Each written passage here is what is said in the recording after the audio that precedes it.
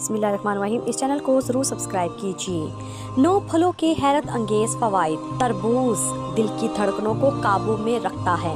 Strawberry बढ़ती उम्र के असरात को कम करती है। नारंगी बेनाई को तेज करती है। आम कैंसर से बचाता है। आड़ू फौलाद की कमी को पूरा करता है। केला तवनाई बख्शता है। चेरी शरियानों को आराम बख्शती है। अंगूर खून के शरियानों के लिए मुफीद है। अनानास जोड़ों के दर्द से बचाता है।